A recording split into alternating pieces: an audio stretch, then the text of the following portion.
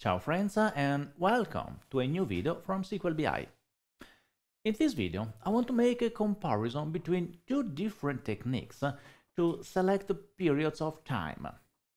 A common requirement in reporting is to be able to quickly select the last month or the previous month or the last year against the previous year. You can obtain this by creating time intelligence calculations or you can create calculation groups uh, or you can create uh, disconnected tables or no connected table with a many-to-many -many pattern. Now, I'm not interested in the part about the time intelligence calculation. I want to compare a solution created using calculation groups uh, against a solution created using the many-to-many -many pattern. The two solutions provide the very same results, the very same user experience, but uh, there is an important difference in the way they are solved internally. The takeaway of the entire video is that the two solutions are quite close. Unless you have a very large database, choosing one versus the other is not really important. There are no compelling reason to choose one against the other. Nonetheless, as it always happens with these videos, it's important to see the process of investigating about performance, because no matter what my findings are, in your model things might be different. Data distribution matters. Your model is different than mine. You might have good reason to choose one technique against the other one.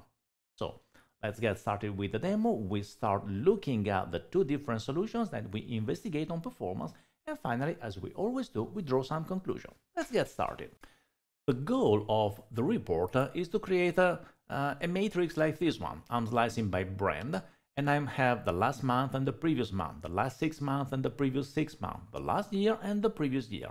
And I want my user to make the selection very, in a very simple way. So all that what they need to do is start from a matrix that just shows the brand and the sales amount, then drop the period calculation group or the period configuration table and uh, automatically you have the entire calculation. The solution can be implemented in two different ways, uh, or actually it can be implemented in multiple different ways, but I'm interested in comparing only two of them. The first one is to use a calculation group. This is uh, the source of the report we are looking at here.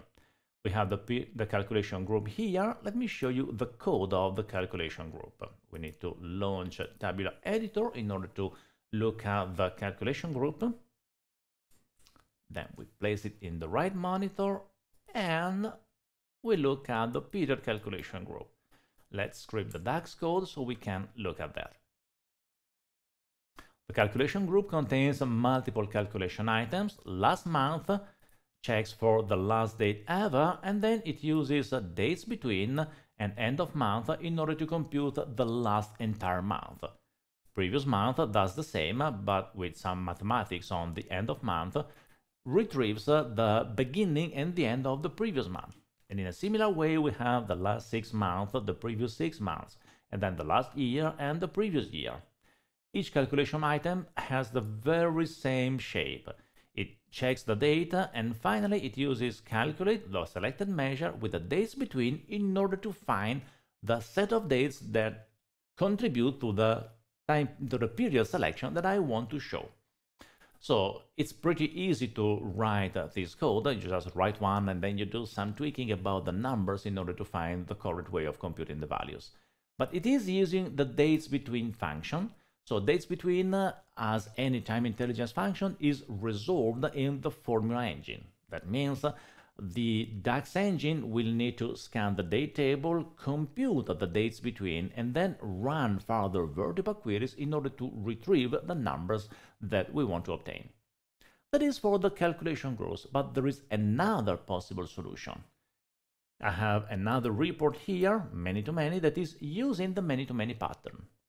In order to build this pattern, we start from a configuration table. Uh, I do have it, let me see here. I have the period configuration table. Let me zoom in a bit. Here it is, where I define a table that contains last, last month, previous month, last six months, and previous six months. So all the rows, the same calculation that I had in the calculation items, but now I have a delta and a month, the number of months. Delta is uh, how many months to go back from the current date, and months is the duration of this period. This is a very simple configuration table that you can easily build. I built it in DAX, but you can build it in whatever way you like.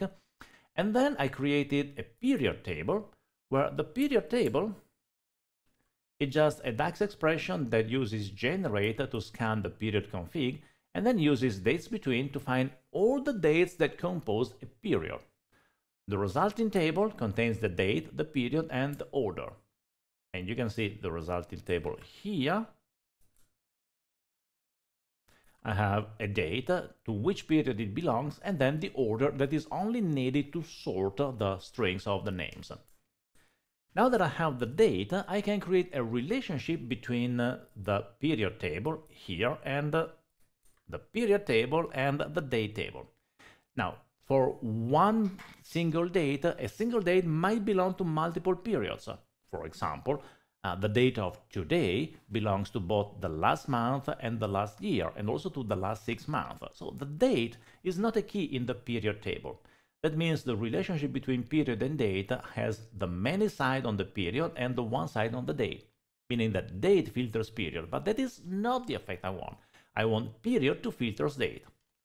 That is one of the very few scenarios where bidirectional cross filter makes a lot of sense.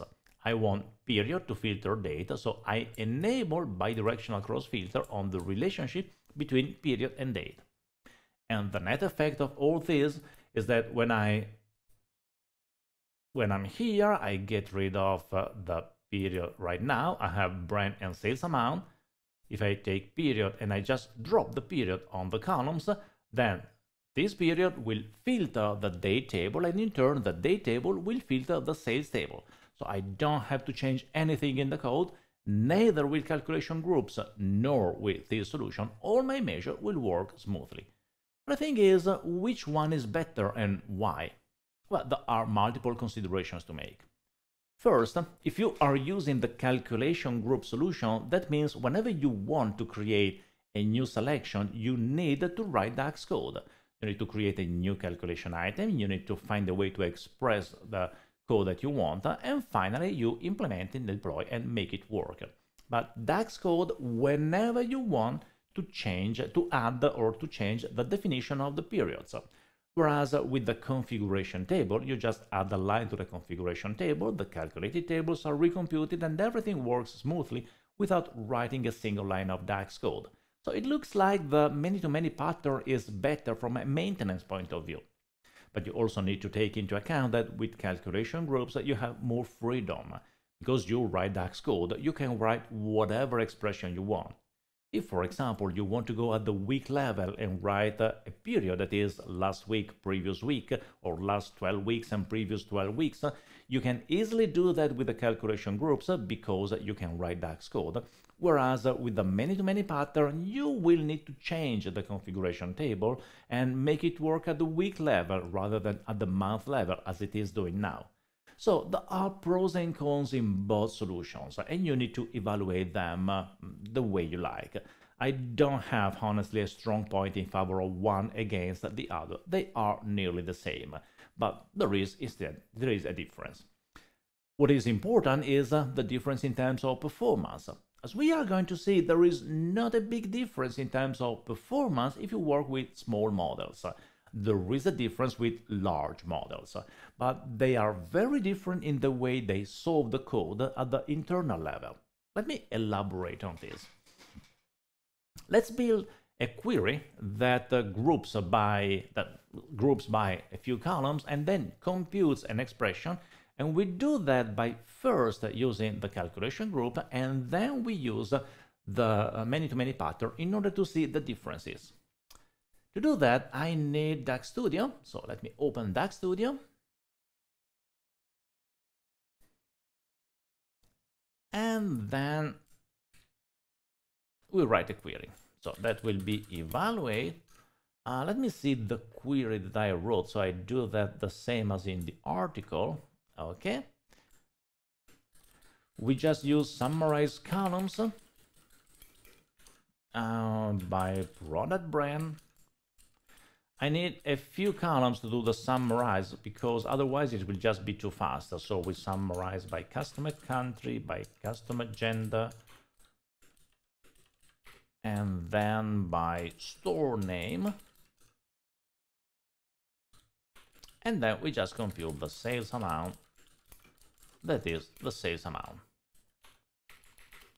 We do enable the query plan, the server timings, and then if I run it right now, I obtain a result that uh, is totally useless from my point of view, but I'm not interested in this result.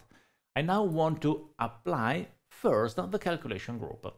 And to apply uh, calculation group, I add a further grouping by by period calculation group and also by the ordinal uh, period, no, period, period calculation group ordinal because I will want to sort by both the name and the ordinal. Now the calculation group is going to kick in. I already have the server timings, I have the query plan, let's make it run. What do we expect here? Well, what I expect is that uh, first, because I have multiple calculation groups, multiple calculation items that are being applied, First, the engine will need to retrieve the date dimension, so all the dates, because the formula engine will need to scan the table in order to compute the different periods that I'm interested in computing. And then, once the periods have been computed, they will drive the execution of uh, uh, VertiPaq queries that retrieve the results. Let's take a look at that. We have uh, the query plan, which is kind of long. Look at that. We have 2000 lines in the query plan, the nightmare of any DAX developer. But let's look at the server timings that probably will give us a better picture of what is happening. Let's see if I can make it fit on the screen. Well, not really, but we can look at that. We have a first scan that retrieves just the calculation groups. Then, as expected, we have a query that just retrieves all the dates. Then we have another small scan. We have a set of small scan to retrieve the axis of uh, my query. And finally, we have the real queries, which are all here, 39 milliseconds, 30 milliseconds, 33 milliseconds. This is where the code is actually being executed. And you see that all these queries, they group by gender, country, brand, store name. They compute the sum of the expression with a set of joins. And then we have the where condition. The first one retrieves 31 values. The second one retrieves 183 values, that is 6 months. The third, another one, another 183, then 366, a year. So what happened is that uh, the Formula Engine computed the filters on the data and then pushed those filters to the storage engine multiple storage engine queries, one for each period that need to be computed, and some interleaving between the storage engine and the formula engine. They are working together. And uh, the time is, of course, very fast, 11 milliseconds, sorry, 76 milliseconds of formula engine and 287 milliseconds of storage engine. Let's see what happens if we do the same, but instead of using the calculation group, we just use the period table. So we need to group by period period. This is the table that will filter the date. And then we also want the period order. Everything is already set, so we can just run it. And let's start by looking at the query plan. Now, what I expect is something entirely different. Indeed, what happens is that uh, the query plan, it was 2000 rows before, it's only 4 rows now, because the entire query can be pushed down to the storage engine, because it uses relationship rather than DAX code. And if we look at the server timings, uh, things again are very different. You see that we do no longer have all those queries. We have uh, uh, just one batch, and the batch computes uh, the entire code. It's impossible to read it that way so we go uh, we go in a new window where we can increase the font. Okay. Uh, there is first the definition of a table that uh, retrieves uh, the period and the table order with a join Then it creates a this simple index n that is a bitmap index that will be used in order to apply the filter. Then creates a shallow relationship, and finally we have the code that actually computes uh, here, the code that actually computes everything. I should format it, but you will find it formatted on the article. There's no point in looking at the entire code during the video. The important part is that there is only one query that executes everything, and it is mainly a storage engine query. So it, if we were working on a very large model, that would benefit from parallelism and all the uh, features that VertiPaq offers and the Formula engine does not. But on this model, performance is nearly the same. It's 250 milliseconds against the 270 or whatever that was before the variance is of 10-20 milliseconds every time I execute it. So basically they are running at the very same speed. There are no differences. But what if I test it on a much larger model? So if instead of using a model like the current one that only contains 10 million rows, we go on a much larger model, maybe there we will find some difference. And in order to do that, unfortunately, I don't have the model ready, so we need to create it on the fly. I already have Tabular Editor open here. I need a new Tabular Editor that I connect with the Contoso model that is running on my analysis services, uh, where I have 1.4 billion rows in a single fact table. So I need to open a model directly. We go on analysis services, we connect with this model. Now in this model, I do not have, you see, uh, all the configurations. So I need to go here, take the period configuration, the period and the three tables. I just copy them, then go here. I paste them. Where should I do that? Okay, paste them and I have period, period calculation group and period config, everything in the model. I also need to create a relationship and the relationship starts from period goes period date and goes to day date. Um, many and I want it to be bidirectional. Okay. I can save it and then refresh the model. That will be very fast because uh, it just need to compute a calculated table and then uh, build the relationship. So there's nothing complex to do. Then we can go back to okay to DAX Studio. We already have the version that runs with uh, the many-to-many, -many, but we need to connect this time with uh, Tabular with the right model, optimizing the model, we have the period calculation group, we activate no query plan and server timings. Okay, and we run it. Now it's running against 1.4 billion rows, uh, and you see, this is the version that is using the many-to-many -many pattern. There is still one single scan, there is a good degree of parallelism, and uh, it's computing the values. It's a bit slower, of course, because the fact table is much larger, even though selecting one year and one month, uh, it's strongly reduced. But it runs in uh, half a second of execution time, 14,000 milliseconds of storage engine query. What happens if we do the same, but we do that by using the calculation group? I have the calculation group I have the calculation group and then we also need the ordinal and then we run it. It's a bit slower and the pattern is again similar to before. We have storage engine CPU that is kind of close, but the total is 1.1 second. That means twice as slow. It is not that it is already, it is terribly slow, meaning that one second to compute all those values is definitely a very good time. The difference is that uh, right now I'm running on a quite powerful machine with a lot of cores. There are 64 cores available.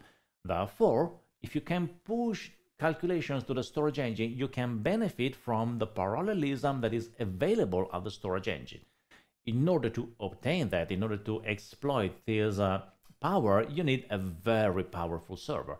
If I had a more regular server, let's say with 16 cores or with 8 cores, then the difference between the two, that would be really tiny because uh, I would not be able to run all those uh, queries uh, in parallel. So the difference is significant only if you have a very large model and a very powerful machine. That is the, the moment when you can actually use the full power of the storage engine. Now, before leaving the topic, I want to show you that right now I'm using an additive calculation like the sales amount. Now, with additive calculation, there is some difference between the two techniques. But as soon as we use a non-additive calculation like a distinct count, then the difference is really, really tiny, up to the point that you can no longer measure it. Let me show you that. In order to, uh, to run the demo, let's connect again. Oh, we can do that here because I do have in sales, I have the number of customers. If I use number of customers as a measure, number of customers computes a distinct count of the customers. Let me show you what it does. It's rather simple.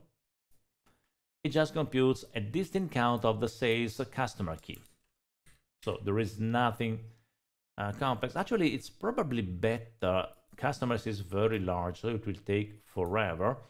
Uh, whereas product computes the sales product key. I have many, I have don't have a lot of products, I have a lot of customers, so it's probably going to be a bit faster.